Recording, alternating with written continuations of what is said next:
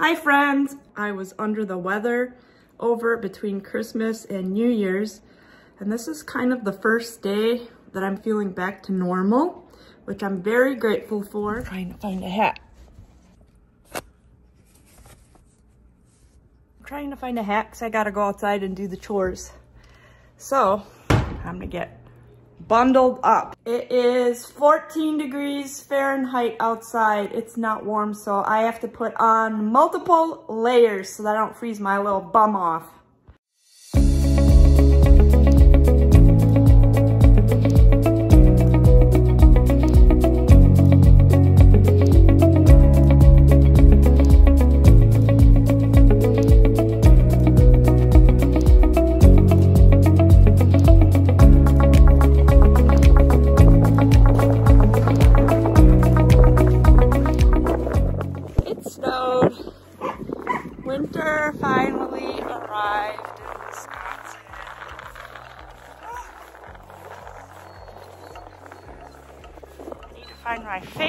Face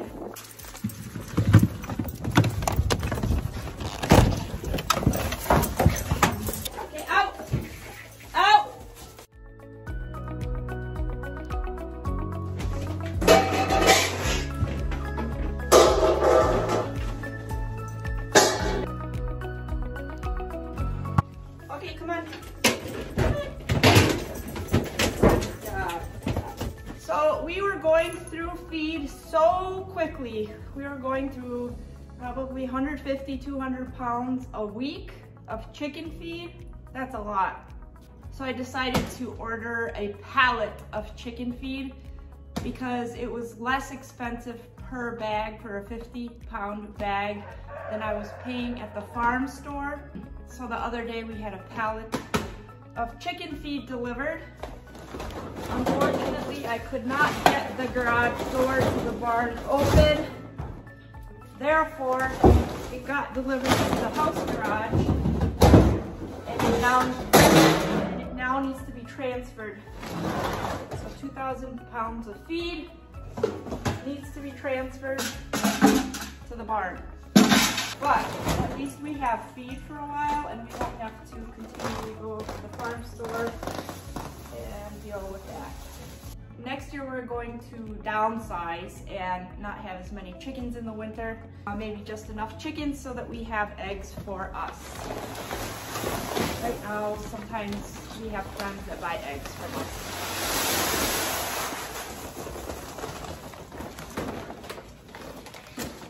So because they eat more, chickens poop more, they sit inside more, and that is why I took advantage of that one warm day so that I could clean out part of the coop because now everything will be frozen and it will be a next to impossible task until we get uh, our thaw out.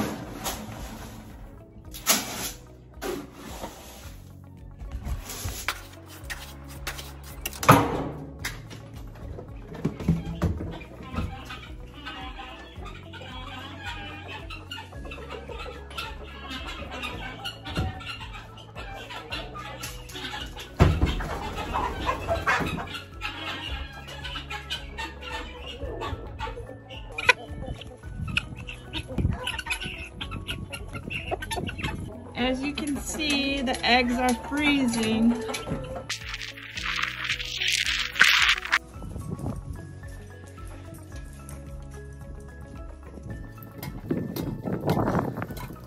Every day we hope the water starts and isn't frozen.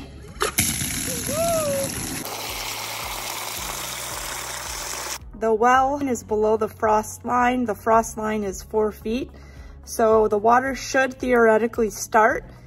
Um, if we hooked up a hose, which we have done in the past, and it was a heated hose, it still froze up and messed up the water line because the water wasn't able to properly go down the four foot frost pipeline because uh, of the suction from the hose. So we learned the hard way that you have to detach the hose in the winter and I still heat the pipe though. I'll show you. It's not pretty because this is leaking and I need to get this seal, this whole head replaced in the spring. Um, but we heat this pipe so that there's no chance that this pipe freezes up. There definitely was a learning curve of what works and what doesn't work. And you can see I have my, my replacement well, what's it called? Frost-proof yard hydrant waiting over here in the corner to be replaced in the spring when it's not so cold out because now it would be a very difficult and costly expense to replace and we're getting water so I'll wait. So we do it the old fashioned way, carrying a bucket.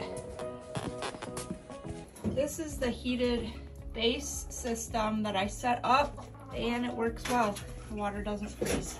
It is so cold out here that my phone is freezing up and not cooperating and working. It's funny, not funny. It is really cold. And in the wind, when you walk outside, it is brutal on the skin. That's why I have a face mask on. But these hens, they're happy as can be. Hello, how are you? Your eggs are freezing.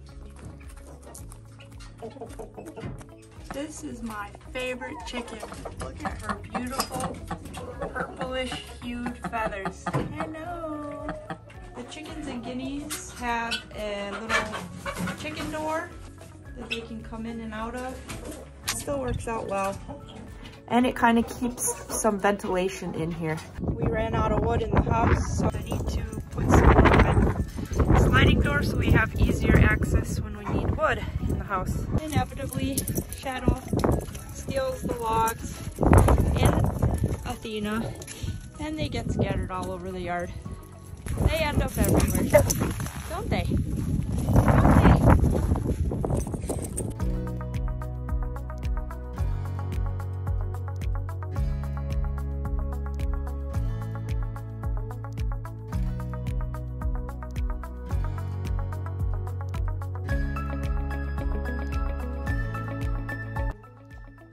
Came to say hi to Manushak, but I don't see her. I have to go look for her. I came to visit Manushak. Look, I'm all red from the windburn.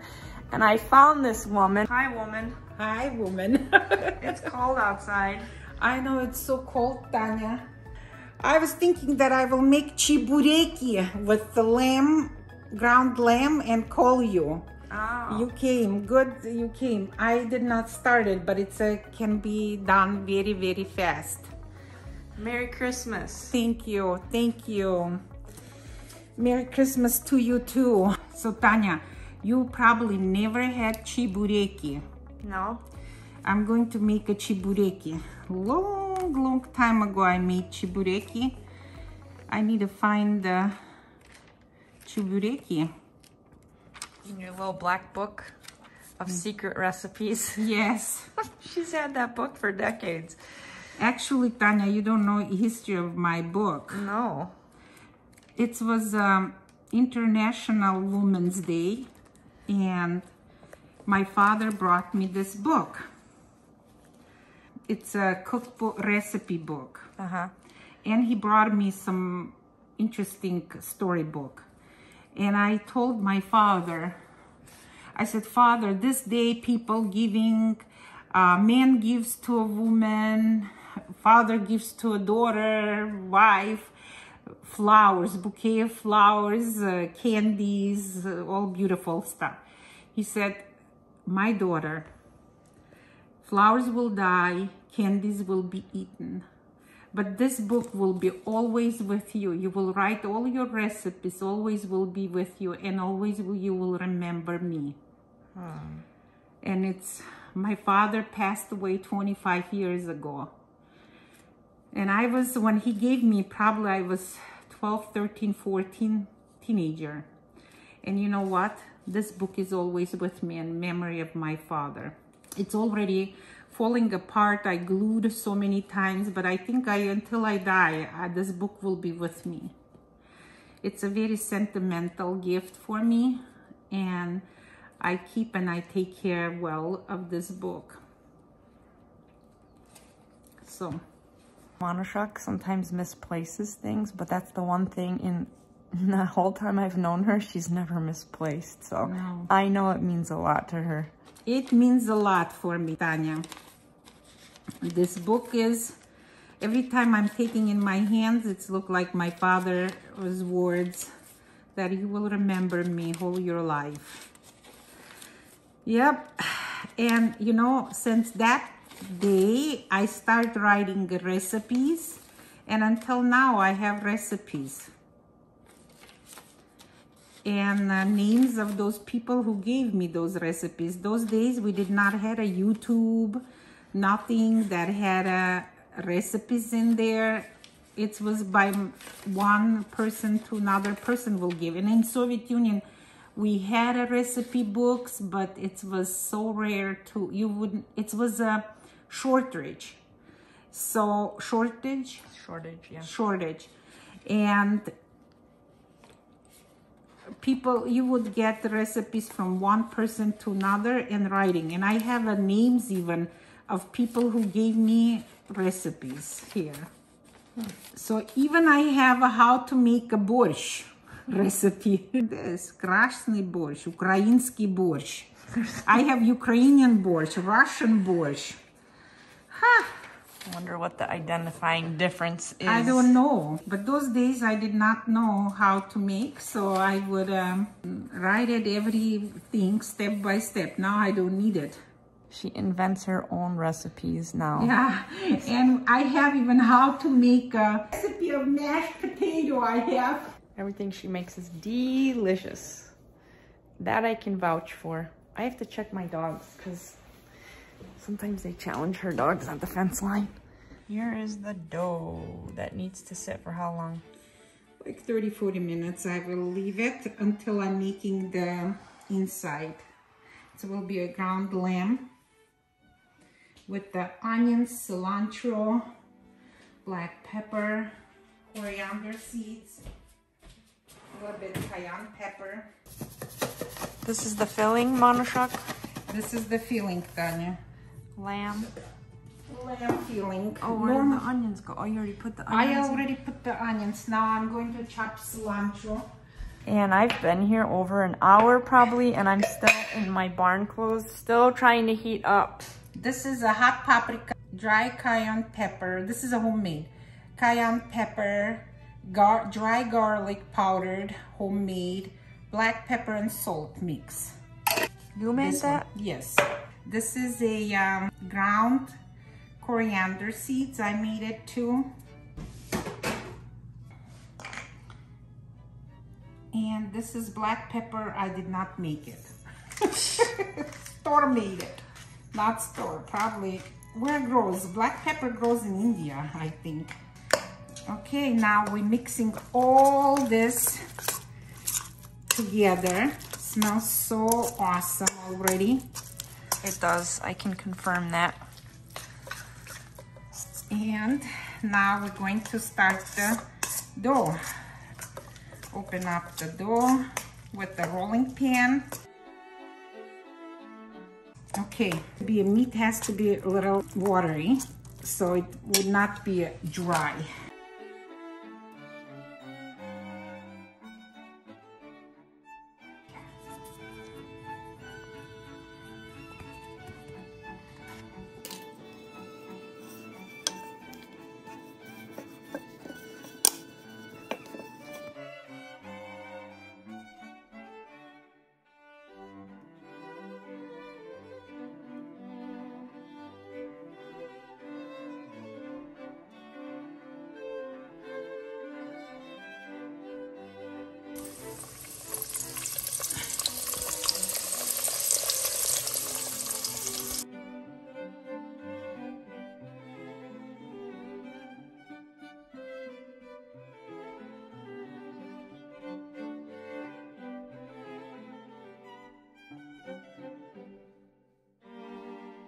Dear friends, we hope that you enjoyed this episode and you enjoyed the doing the chores in the sub-degree weather as well as preparing for Armenian Christmas and celebrating it a little bit with Manushak. And I am in the process of transferring the wood to the family room so that I can make a fire. Is already wood. Didn't want to light the day before. And Amazon packaging works well for starting fires. And there you have it. Have a good night, everyone. wishing everyone to stay healthy and see you next time. Take care. Bye-bye.